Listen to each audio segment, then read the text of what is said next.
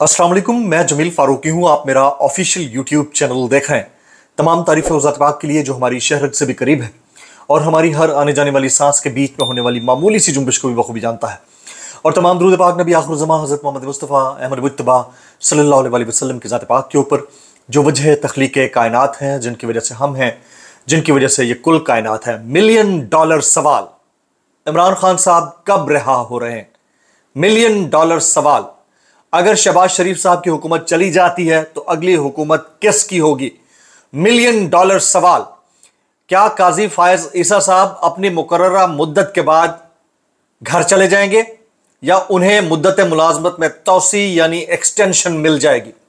उससे भी बड़ा सवाल, क्या जस्टिस मंसूर अली शाह साहब अगले चीफ जस्टिस ऑफ़ पाकिस्तान होंगे, या जस्टिस मंसूर अली शाह साहब चीफ जस्टिस ऑफ़ पाकिस्तान नहीं बन पाएँगे?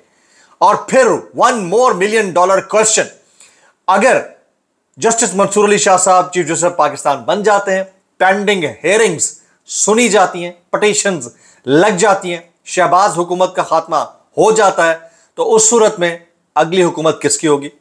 मिलियन डॉलर सवाल, क्या अगली हुकूमत पॉलिटिकल हुकूमत होगी या फिर अगली हुकूमत भी मनपसंद हुकूमत होगी? ये वो तमाम सवाल हैं जिनके जवाब आप रोज़ाना की बुनियाद के ऊपर मुझसे मांगते रहते हैं। मेरा यह फ़र्ज़ है कि उसका जवाब दूँ। इसलिए आज का जो व्लॉग है, वो बिल्कुल point to point dot to dot connect करके आपको मैं डायसेक्ट करके बताऊँगा कि मेरा ओपिनियन क्या है आने वाले दिनों में जो हालात डेवलप हो रहे हैं, उससे मुतालिक। सबसे पहले मैं एक बड़ी खबर भी शेयर कर दूँगा कि तैयारियाँ उरूज पर हैं। यह भी हो सकता है, लेकिन कंडीशनल है। वो क्या खबर होगी, वो शेयर करूँगा। कुछ वायरल ट्वीट्स और बयान भी शामिल कर लिए जाएँगे आखिर में, इसलिए गुजारिश है कि वीडियो को पहले मिनट से आखिरी मिनट तक देखना है। एक और गुजारिश, अगर आपने चैनल तक सब्सक्राइब नहीं किया, सब्सक्राइब कीजिए, बेल आइकन यानी घंटा या घंटी, अपने अंगूठे, उंगली ये साथ रख के डंडे से बाजिएगा ताकि तमाम तरह नोटिफिकेशन आप तक पहुँचते रहें। चैनल सब्सक्राइब के लिए वॉल एंड गुड नहीं क्या, कर लीजिए। ऑल वीडियो को चेक मार्क ऑन कर दीजिएगा। ज़्यादा ज़्यादा कमेंट्स करने हैं ताकि फाइबर यानी मिस फाइबर वॉल का इशू फायर नहीं मिस फाइबर वॉल का इशू ब्रेक हो सके। व्हाट्सएप चैनल का लिंक डिस्क्रिप्शन के अंदर मौजूद होता है, उसको क्लिक कीजिए ज्वाइन कीजिए और फीडबैक देते रहिए ताकि आपके सवाल शामिल किए जा सके। इससे पहले कि मैं मजीद बातों के ऊपर आऊँ, सबसे पहली चीज़, मुर्शिद की, अवाम पाकिस्तान के मुर्शिद की या कप्तान की या इमरान खान साहब की रिहाई कब तक मुमकिन है? क्या इस हवाले से कोई खबर है? लोग अक्सर सवाल पूछते रहते मेरा जो डॉट टू डॉट कनेक्ट करते हुए एनालिसिस है, वो मैं आपको बता देता हूँ। वो ये है कि इस वक्त जो दूसरी साइड है, यानी हुकूमत और उनकी सहूलतकारों की साइड वो साइड इस वक्त अंगुश्त बदंदा है एस्टॉनिस्ड है, हैरान है कि हम गिराते हैं, वो उठ जाता है। हम जलाते हैं, वो बुझ जाता है। हम बुझाते हैं, वो जल जाता है। हम गुरूब होता देखते हैं, वो तुरु होता हुआ नज़र आता है। ये हो क्या रहा है, ये उनके समझ में नहीं आ रहा। ये चाहे वो कैंप जो हुकूमत के अंदर इस वक्त मेन फ्रंट पोजीशंस के ऊपर है, या वो कैंप जो कॉन्स्टिट्यूशनल पोस्ट लेकर बैठा हुआ है, ये तमाम के तमाम इस वक्त स्टॉनिश्ड है अंगुश्त बदंदा है। हालात की नब्ज के ऊपर हाथ रखकर मैंने आपको काफ़ी दिन पहले जो जो प्रिडिक्ट करके बताया प्रिडिक्ट तो नहीं कह सकते इसको मेरा व्यू पॉइंट और एनालिसिस कहते हैं। अपनी अपनी ब्रेन ऑयल को बंद करके मैं जो सोचता हूँ, समझता हूँ, मेरी जो इंसाइट मुझे कहती है, वो आपके सामने रख देता हूँ। आपको बताया था कि इलेक्शन कंडीशनल होंगे, वरना नहीं होंगे। कंडीशनल हुए, उससे पहले इमरान खान साहब को सजाएँ हुई। आपको बताया था कि बजट से पहले बड़े वाकयात होंगे, लोगों को उठाया जाएगा और हुआ। आपको और तकरीबन वो वो चीज़ जो मैंने डिस्कस की थी कि के पी के और पंजाब के अंदर इंतबात नहीं होंगे, नहीं हुए। सुप्रीम कोर्ट के फैसलों के ऊपर अमल दरामद नहीं होगा, नहीं हुआ। अल्हम्दुलिल्लाह, मुझे इस बात के ऊपर फ़ख्र है कि मैं ना तो कोर्ट रिपोर्टर हूँ, ना मैं दर दर की खाक छानता हूँ। मेरा जो व्यू पॉइंट है, वो खान, छानी हुई खाक के बाद उस पॉइंट पर आकर वो कहते हैं ना सेंट्रल पॉइंट ऑफ़ ग्रेविटी की तरफ़ आ जाता है, जो मेरे दिल के अंदर है, जो मेरी इंसाइट है, वो मुझे पता चल जाता है कि क्या हो रहा है मैं डॉट्स को कनेक्ट करके बता देता हूँ। इमरान खान साहब रिहा हो रहे हैं, नहीं हो रहे इमरान खान साहब की रिहाई मुमकिन है, इस हवाले से मेरे पास अपडेट है। और वो टाइम फ्रेम होगा बिटवीन सितंबर टू नवंबर ये बेस्ट टाइम फ्रेम है इमरान खान साहब की रिहाई के लिए। और इस हवाले से पीटीआई भी तैयारी कर चुकी है। पीटीआई के इंटरनल सोर्सेज भी जानते हैं कि खान साहब इस पॉइंट ऑफ़ टाइम पर रिहा हो सकते हैं। सकते के लफ्ज इसलिए इस्तेमाल कर रहा हूँ क्योंकि मेरे पास जो प्रोबेबल स्टोरी है, उसके लिए सकते के लफ्ज इस्तेमाल नहीं करना चाहिए, होंगे का, कहना चाहिए। लेकिन मैं एज ए जर्नलिस्ट इसलिए सकते के लफ्ज इस्तेमाल कर रहा हूँ क्योंकि इवेंट ड्रिवन पॉलिटिक्स है, कुछ भी हो सकता है। तो इमरान खान साहब की रिहाई between first week of September to last week of November मुमकिन हो सकती है कंडीशनली अगर कुछ चीज़ें हो जाए। वो कौन कौन सी चीज़ें पहली चीज़ तो यह है कि जस्टिस मंसूर अली शाह साहब मुल्क के चीफ जस्टिस बन जाए और जस्टिस काजी फायज ईसा साहब अपनी मुद्दत मुलाजमत के अख्ताम के बाद घर तशरीफ़ ले जाए। ये अगर हो जाता है तो वो तमाम की तमाम पिटिशंस जो पेंडिंग है, वो तमाम की तमाम पिटिशंस सुनने में आ जाएँगी और समातें शुरू हो जाएँगी और वो काफ़ी हैं शबाज हुकूमत को घर भेजने के लिए। अब सवाल ये, क्या मंसूर अली शाह साहब चीफ जस्टिस बन सकते हैं? पहला सवाल। प्रोबेबिलिटी फिफ्टी फिफ्टी है। क्या मंसूर अली शाह साहब चीफ जस्टिस नहीं बन सकते? हैं प्रोबेबिलिटी फिफ्टी फिफ्टी है। उसकी रीजन ये है कि दूसरी तरफ़ से सर तोड़ कोशिश यही है, और मेरे जो इनसाइड सोर्सेज हैं वो ये कहते हैं कि किसी तरह से हुकूमत चाहती है कि चीफ जस्टिस काजी फायजर साहब कंटिन्यू करें। मुदत मुलाजमत में उनको दो तीन साल की तोसी मिल जाए, दो साल की तोसी मिल जाए और वो कंटिन्यू करें और इस तरह कम अज़ कम आधी जो मुद्दत है गवर्नमेंट की, वो कंप्लीट हो जाए और उसके बाद फिर पीपल्स पार्टी उससे फ़ायदा उठाए। फैसिलिटेशन कुछ इस लेवल की हो रही है हुकूमत के एंड पर कि उससे लगता यही है। अच्छा अगर जस्टिस मंसूर अली शाह साहब चीफ जस्टिस ना बन सके तो किसे नुकसान होगा? ऑब्वियसली अवाम पाकिस्तान को नुकसान होगा कॉन्स्टिट्यूशन को नुकसान होगा और इंसाफ के निज़ाम से इंसाफ के मुतलाशी अशखास और उनकी पार्टी को नुकसान होगा, यानी तहरीक इंसाफ को नुकसान होगा। अच्छा अगर जस्टिस मंसूर अली शाह साहब हुकूमत में आते हैं तो क्या ये हुकूमत चली जाएगी? प्रोबेबिलिटी नाइन्टी परसेंट है, ये हो सकता है हुकूमत चली जाए। उसके बाद फिर अगला सवाल that is again a one million dollar question क्या हुकूमत चला, चले जाने के बाद अगली हुकूमत इमरान खान साहब की होगी? मेरी नज़र में इससे मुतालिक कुछ रिजर्वेशन है। मैं वो आपके सामने रखना चाह रहा हूँ। वो कंडीशनल है। जो मरकजी क्यादत बाहर मौजूद है, पाकिस्तान तहरीक इंसाफ की, वो किसी किस्म का अग्रेसिव एहतजाज कंडक्ट करने में बुरी तरह नाकाम रही है। जो मरकजी क्यादत बाहर बैठी है, वो किसी किस्म का अपना मुतालबा मनवाने में नाकाम रही है। जो मरकजी क्यादत बाहर बैठी है, वो किसी किस्म की टेबल टॉक बजरिया निगोसिएशन करने में नाकाम रही है। तो उस सूरत में अगर यह तो की जा रही है कि शहबाज हुकूमत चली गई तो इमरान खान साहब की हुकूमत आ जाएगी। मैं इससे जरा मुख्तलिफ़ राय रखता हूँ। उसूलन आनी उन्हीं की चाहिए। उसूलन इंसाफ उन्हीं को मिलना चाहिए। फॉर्म सैंतालीस वाले घर जाएँगे तो पैंतालीस वालों को वापस हुकूमत में या इकतदार में आ जाना चाहिए।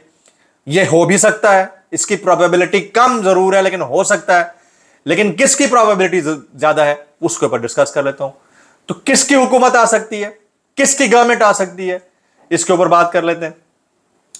अभी आपने देखा होगा, कुछ साफियों ने नेशनल यूनिटी गवर्नमेंट का प्रचार करना शुरू कर दिया। नेशनल यूनिटी गवर्नमेंट इसको कहते हैं वन यूनिट गवर्नमेंट जिस तरह पीडीएम की गवर्नमेंट आई थी, इसी तरह की गवर्नमेंट लेकिन उसमें कोई पॉलिटिकल फिगर ऐसी अननोन फिगर या ऐसी अनएक्सेप्टेबल फिगर या ऐसी मोस्ट एक्सेप्टेबल फिगर ये तीन एक्सट्रीम्स हैं।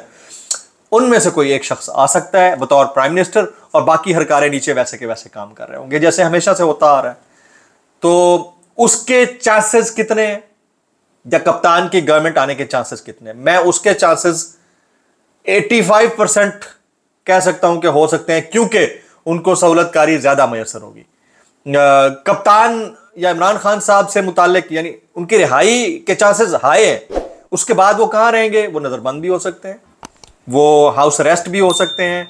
वो दोबारा से अपने एहतजाज के पैटर्न के ऊपर शहर शहर जलसे भी कर सकते हैं। और फिर उस मुमकिन आने वाली नेशनल यूनिटी गवर्नमेंट को उठा के मार भी सकते हैं। तो वो तमाम लोग जो इसको बड़ा हलवा समझ रहे हैं, खासतौर पर पीटीआई की मरकजी क्यादत कि दिसंबर में पाकिस्तान तहरीक इंसाफ की हुकूमत आ जाएगी। मैं बड़ा रियलिटी चेक रखता हूँ चीज़ों के ऊपर। हवा में ऐसे तीर नहीं छोड़ देता। हालात ऐसे हैं, उस हालात को देख के ही आपसे बात करी। ख्वाहिश तो मेरी ये है कि जिनके साथ नाइंसाफी हुई है, वो गवर्नमेंट में है ये मेरी ख्वाहिश है। लेकिन जो मेरे पास खबर है, जो मैं जिन डॉट्स को कनेक्ट कर रहा हूँ, मैं वो आपके सामने शेयर करूँगा ना। अगर किसी को मेरी बात बुरी लगती है तो नीचे कमेंट्स में ज़रूर लिख सकता है। लेकिन इसको यह मत समझिएगा कि ये मेरी ख्वाहिश है। मैं खबर के हिसाब से एनालिसिस करने का तमाम तर फॉर्मूला रखता हूँ अपने पास। अच्छा नेशनल यूनिटी गवर्नमेंट के ऊपर क्या इंटरनेशनल प्रेशर असरदार हो सकता है? अब इस ये एक और एंगल है। वो एंगल ये है कि अगर अमरीकी इंतबात में डोनाल्ड ट्रंप कामयाब हो जाते हैं, जो प्रो राइट पॉलिसीज़ रखते हैं पाकिस्तान के हवाले से, तहरीक इंसाफ के हवाले से और पीटीआई के बानी चेयरमैन इमरान खान साहब के हवाले से। अगर वो गवर्नमेंट बना जाते हैं और पेंटागन को कन्विंस कर लेते हैं तो याद रखिएगा पाकिस्तान में डेमोक्रेसी प्रिवेल करेगी। फिर ये तमाम सिचुएशन नल एंड वाइड हो जाएगी।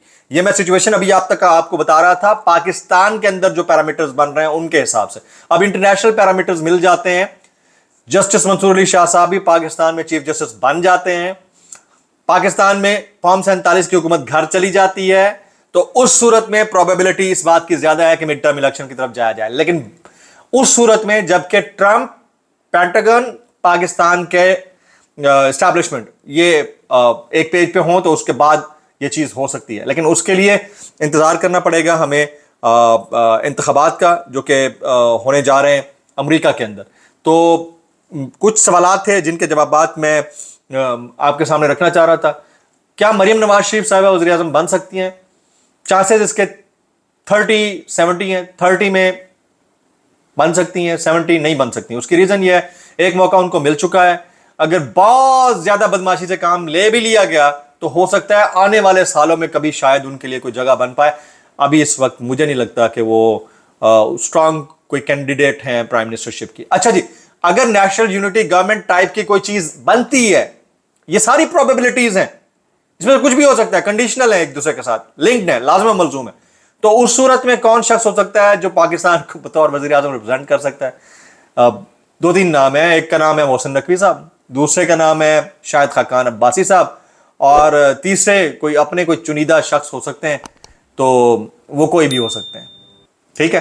तो ये दो तीन नाम हैं जो मेरी नज़र में थे और मुझे लगता है कि इनमें से कोई एक आध जो है, वो अपनी पोजीशन बना सकता है। कुछ वायरल ट्वीट्स जो हैं, वो मैं शेयर कर रहा हूँ आपके साथ। और यह मकबूल जान साहब, बांग्लादेश के मामले को हाईलाइट करते हुए कहते हैं कि 8 फरवरी के इंतबात में अपनी जिल्लत आमेज शिकस्त के बाद इस्टेब्लिशमेंट इस वक्त तारीख का गंदा तरीन खेल खेल रही है। दो तहाई अक्सरियत सिर्फ़ और सिर्फ़ अदालत को फतह करने के लिए चाहिए। इस वक्त पाकिस्तान के अदालती निज़ाम ने जो अंगड़ाई लिया उसका खौफ सर पर सवार है, ताकत की बिसात उलट सकती है। बात करने को बिल्कुल ठीक है, लेकिन बांग्लादेश के और पाकिस्तान के ज़मीनी हक़ बिल्कुल मुख्तलिफ़ है। यहाँ बदमाशिया और अशराफिया दोनों का राज है और मामला ज़रा मुख्तलिफ़ है। और यहाँ की आवाम की जो हालत है, सत्य ही खैर सत्य खैर आह, मत जगाओ हमें नींद से, मत जगाओ।